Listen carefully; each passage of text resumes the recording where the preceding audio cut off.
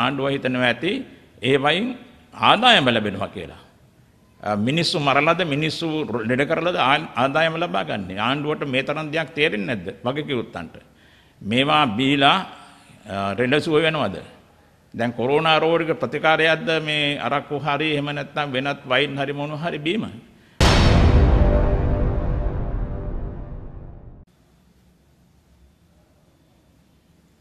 පසුගියදා පැවැත්වුණු Geneva සමුළුව වෙනදා වගේම ශ්‍රී ලංකාවට අහිතකර කාරණා ඉදිරිපත් කළා මිසක්වා කුමසාරිස්වරිය සහනදායී කිසිවක් ඉදිරිපත් කළේ නැහැ. ඒකට හේතුව එක හේතුවක් තමයි අපේ රජය මේ රජය විතරක් මේ හිටපු රජයන් වනත් මේ ජිනීවා සමුළුවට අපේ අදහස් නිසියාකාරව නිසි පරිදි ලබාදීමේ ක්‍රමවේදයක් ක්‍රියාත්මක නොකිරීම. අනිත්තක තමයි ඊනියා දෙමළ ඩයස්පෝරාව ජිනීවා සමුළුව අත්පත් කරගෙන සිටීම. එගොල්ලන්ට ඒ ජිනීවා සමුළුව එම ස්ථානය තමන්ගේ ගෙදර වගේ. මාත් එකවරක් එම ස්ථානයට ගිය නිසා ඒක හොඳයි හොඳින් දැක්කා දෙමළ ඩයස්පෝරාවේ අය හැසිරෙන්නේ ගෙදර හැසිරෙන්න වගේ. ඉතින් ඒගොල්ලන්ගේ ඡන්ද කැනඩාව නෝර්වේ ජර්මනිය වගේ රටවල් වල ඒ ඡන්ද සංඛ්‍යාව ප්‍රංශය වගේ රටවල් වල දෙමළ ඡන්දත් දැන් තියෙනවා වැඩිපුර. ඒ ඡන්ද ප්‍රමාණයත් ගැන සලකලා ඒගොල්ලෝ බලපෑම් කරනවා. ඒ බලපෑම් කරන අතරේ ඒ ඕගොල්ලන්ට අවශ්‍ය පරිදි අපේ රටට එරෙහිව කරුණු කාරණා ගොනු කරලා ජිනීවා සමුළුවට ඉදිරිපත් කරනවා. ඉතින් ශ්‍රී ලංකාව වෙනුවෙන් එහෙම ක්‍රියාත්මක වුණේ ගෝලීය ශ්‍රී ලංකා සංසදයේ පමණයි. ඒ කාලේ තිබිච්ච රජයේ ගෝලීය ශ්‍රී ලංකා සංසදයට සහයෝගය ලබා දුන්නේ නැහැ. ගෝලීය ශ්‍රී ලංකා සංසදය එංගලන්තයේ නෙස්බි සාමි සමග එකතු වෙලා ඔහු හමු වෙන්න ගියා මමත් ඒ අවස්ථාවට සහභාගී වුණා. ඒ නෙස්බි සාමි අපි වෙනුවෙන් පෙනී හිටීම ගැන අපි එතුමාට ස්තුති කරලා සාකච්ඡා කළා. ඉතින් ඒ වගේ අය පිළිබඳව අවධානයක් යොදලා රාජ්‍යතාන්ත්‍රික මට්ටමින් ක්‍රියාත්මක වීමක් නැහැ. මෙන්න මේ හේතු සාධක නිසා ජිනීවා සමළුව බොරු කියමින් අපට චෝදනා කරනවා. ඉතින් වර්තමාන ආණ්ඩුවන දැනගන්න ඕන ඒ අපේ තියෙන ඇත්ත සත්‍ය රිසියාකාරව ජිනීවා සමළුවට යොමු කරලා අපි වෙනුවෙන් පෙනී හිටින ආයතන රාජ්‍ය නොවන ආයතන ගෝලීය ශ්‍රී ලංකා සංසද වගේ ආයතන සම්බන්ධ කරගෙන ඒගොල්ලන්ට ශක්තිය ධෛර්යය දීලා අපි වෙනුවෙන් ගෝලීය මානව හිමිකම් සමළුව ඉදිරියේ පෙනී සිටීමට කටයුතු යෙදීම අවශ්‍ය වෙනවා. මේවා ගැන රාජ්‍යතාන්ත්‍රික මට්ටමින් අවධානයක් නොතිබීම අපට බරපතල පාඩුවක්. ඒ නිසා වර්තමාන රජය හෝ මේ පිළිබඳව සැලකිල්ලට අරගෙන විදේශ මැතිතුමා ජනාධිපතිතුමා ආගමැතිතුමා මේ මේ අන්දමින් අපේ රට අපට අහිතකර යෝජනා ජිනීවා සමුළුවෙන් එනකොට ඒ මාට පිළිතුරු දීමට ක්‍රමවේද හදන්න ඕන. තානාපතිවරු ජිනීවාවල සිටින අපේ තානාපති වගේම යුරෝපා රටවල තියෙන ඉන්න තානාපතිවරු ඒ වෙනුවෙන් දැනුවත් කරලා ඉදිරිපත් වෙලා ක්‍රියාත්මක කළොත් තමයි මේ චෝදනා වලින් අපට කරදරයක් නොවි අපේ රට පවත්වාගෙන යන්න පුළුවන් වෙන්නේ. අද තත්ත්වය ලංකාවේ තත්ත්වය ගැන කියන කල්පනා කරලා බලනකොට මේ කොවිඩ් වෛරසය නිසා මුළු රටම ලොක්ඩවුන් වෙලා දැන් රජයෙන් සම්බාධක පවත්වලා නිරෝධායන ඇදි නීතිය පැනවන් පැනවූ වගේම වසංගත රෝගය නිසාම මිනිස්සු ඉබේටමත් ලොක්ඩවුන් වෙලා ඉන්නේ. ඉතින් මේ වගේ අවස්ථාවක රාජ්‍යතාන්ත්‍රික මට්ටම ක්‍රියාත්මක වෙන්න ඕන විදිය මොකක්ද කියලා ඒ වගකිවුත්තන් හොඳට තේරුම් ගන්න ඕන. එහෙම තේරුම් අරගෙන ක්‍රියාත්මක වන බවක් පේන්නේ නැහැ.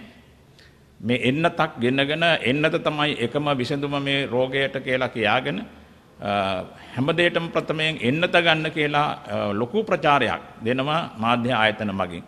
ඉතින් ඒක නෙමෙයි කෙරෙන්න ඕන. දැන් පසුගියදා බාර් ඇරියා. මෙරට බීම රට බීම ඕන තරම් ඒ බාර් වලින් ගන්න පුළුවන්. මිනිස්සු බාර් පොලිමේ බාර් ළඟ පොලිමේ ඉන්නවා ඒ මාධ්‍ය වලින්ම පෙන්නවා. ඉතින් ඒ தත්ත්වය උදා වෙන්නේ මා බාර් ඇරියහම වයින් ස්ටෝස් ඇරියහම. ඇයි ඒව හරින්නේ?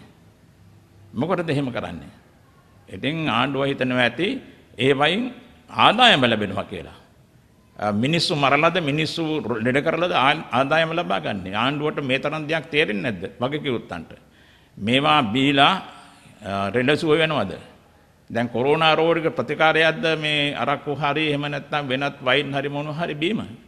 කොරෝනා රෝගය වැඩි වෙනවා මිසක් අඩු වෙනවද? මේ ගැන නොහිතා ආණ්ඩුවට ලැබෙන ආදායක මැන හිතලා ඒවා විවෘත කරන්න ඉඩ සැලසුවහම කොච්චර වරදක්ද ඒක?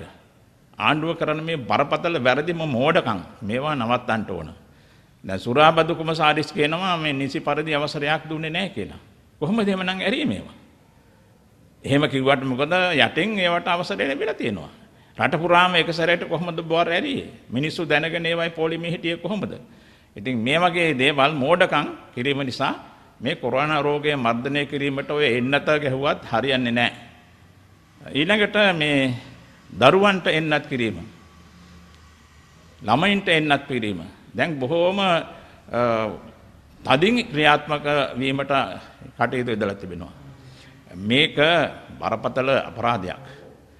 විවිධ අය මේ ගැන ඔය සමාජ මාධ්‍ය ජාලාවල ප්‍රකාශ කරලා තියෙනවා. නමුත් රජේ ඒවා කිසි සැලකිල්ලක් දක්වන්නේ සෞඛ්‍ය අමාත්‍යාංශයත් ඒ වගේම රජයත් ඒ වගේ මාධ්‍ය ආයතනත් මේ එන්නත ගැහීම ප්‍රචාරය කරනවා මිසක්වා. දරුවන්ටත් එන්නත ගහන්න උනන්දු කරවා මිසක්වා ඊට වැඩි යමක් කරන බව පේන්නේ නැහැ. ඒ නිසා මම නම් දරුවන්ට එවැගේම තරුණ තරුණයන්ට එන්නත් ගැහීමට සම්පූර්ණ විරුද්ධයි. මොකද සමාජ මාධ්‍ය ජාලාවල කියන කතන්දර බොරුයි කියලා අපට ඔක්කොම කියන්න බෑ. නිසා මේක නිර්මාණයක් කියන බව දෙදස් දාහත වගේ වර්ෂයේ ඉඳලා නිර්මාණය කරපු දෙයක් කියනක මේ කොයිඩ් වෛරසය. ජීව අවියක් කියන එක ඒගොල්ලෝ කියනවා ඒවගේම එන්නතත් එහෙම එකක්. එන්නත ගහපු අය අතුරු ආබාධවලින් පෙළෙනවා. අපි මේක දැනගෙන අපේ පෝස්්ටකත් දැම්ම මාධ්‍යජාලාවලට එන්නත ගහල අතුරු ආබාධ ඇති වෙච්ච අයට අපේ වෙදමහත්තුරුළඟට කියලා ප්‍රතිකාර ගන්න කියලා. දැන් ඒගොල්ලෝ එනවා. ඇවිල්ලා ප්‍රතිකාර ගන්නවා. ඉතින් එහෙම අතුරු ආබාධ හැදෙන එන්නත ගැහුවත් කොවිඩ් හැදෙන්නේ නැතුව ඉන්න බැරි නම් ඒ වගේම එන්න දෙකම ගැහුවත් මිනිස්සු මැරෙනවා නම් මොකටද මේ තරම් උනන්දුවක්? මම නම් කියන්නේ මේක ඇතුලේ තියෙන ලොකු බිස්නස් එකක්. ලොකු ව්‍යාපාරයක්. ඒ නිසා එන්නත ගැහිීමට උනන්දු නොකර අපේ ආණ්ඩුව අපි බොහොම කරුණාවෙන් කියන්නේ දැන් තරමක් දුරට ඒකට යොමු වෙලා තියෙනවා දේශීය ඖෂධ පානය කරලා ඒවා පාවිච්චි කරලා මිනිස්සුන්ට මේ රෝගය සුව කර ගැනීමට උනන්දු කරවන්න ඕන. රාජ්‍ය තාන්ත්‍රික මට්ටමින් තවමත් ප්‍රමාණවත් විදිහට ඒක කෙරෙන්නේ නැහැ. අපි වෙදමහත්තුරු නොමිලේ ඒ ඒ ප්‍රදේශවල වෙදකම් කරලා කොවිඩ් සුවපත් කරලා තියෙනවා. ඉතින් ඒ වගේම මේ ආණ්ඩුවට කඩ යන වෙන්න පුළුවන් සමහර විට ආයුර්වේද වෙදමහත්තුරුත් මේකෙන් සනීප කරන්න බෑ කොවිඩ් සනීප කරන්න ආයුර්වේද බෙහෙත් වලින් බෑ කියලා එහෙම කතන්දරකුත් කියනවා. ඒ වගේ මෝඩ කතා කියන්නේ නැතුව ඉන්න කියලා අපේ ඒ ආයුර්වේද හෝ වෙනත් මේ වේද මහත්තුරුන්ට අපි මතක් කරනවා. බටහිර වෛද්‍යවරුත් පිළිගන්නවා දේශීය වෙදකමෙන් තමයි මේ කොවිඩ් මර්ධනය කරන්න පුළුවන් වෙන්නේ කියලා. ඒ විදිහට මේ කොවිඩ් මර්ධනය කළොත් අපිට ලෝකෙට යන්න පුළුවන්. ලෝකෙ මිනිස්සු අපි ළඟට එනවා ප්‍රතිකාර ගන්න. එහෙම වාතාවරණයක් පැහැදිලිව තියෙද්දී ඇයි මේ එන්නත් පස්සේ දුවන්නේ? එන්නත මිලදීම කරන ගැනීම සඳහා විශාල මුදල් වැය කරන්නේ. නොමිලි දෙනවා ඉස්සෙල්ලා. අර සුද්දෝ සිගරට් විසි කලා වගේ මිනිස්සුන්ට බීපල්ල කියලා නොමිලේ. ඒ වගේ තමයි මේක. ඒ තමන්ට අවශ්‍ය දේ විකුණ ගන්න ඉස්සෙල් නොමිලේ දෙනවා. ඊට පස්සේ සල්ලි වලට දෙනවා. එතකොට නොමිලේ දීපු එකේ වාඩුව ගන්න සල්ලි වලට දෙනවා.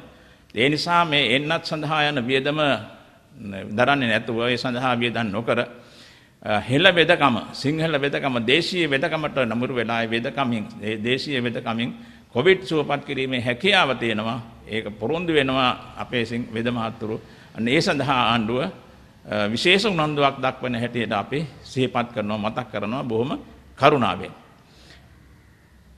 ආණ්ඩුවට චෝදනා කිරීමට ඉදිරිපත් වෙනවා මොනවා කළත් විපක්ෂ සමගි ජන බලවේගයද ජනතාව යුක්ත පෙරමුණද ඒගොල්ලෝ මේ ඉදිරිපත් වෙනවා ආණ්ඩුවට චෝදනා කරන්න. දැන් ජනතා මිත්‍රපුරණේ මන්ත්‍රීවරය කියලා තිබුණා මේ තරුණයන්ට එන්නත් කිරීම කරගන්න බැරි වෙන්නේ ආණ්ඩුවේ වරදින් කියලා. ඒක මෝඩ කතාවක්. අපි පැහැදිලිව කියනවා ආණ්ඩුවේ වරදින් නෙමෙයි. තරුණය බය වුණා මේ එන්නතෙන් ලිංගික දුර්වලතා ඇති වෙයි. ඒ වගේම විවිධ ආබාධිත ආබාධ ඇති වෙයි කියලා ඒගොල්ලෝ බය වුණා. ඒගොල්ලෝ මේ සෝෂල් මීඩියා හොඳට පාවිච්චි කරන්නේ. ඒ නිසා තමයි ඒ තරුණයන්ට එන්නත ගහ ගන්න බැරුනේ.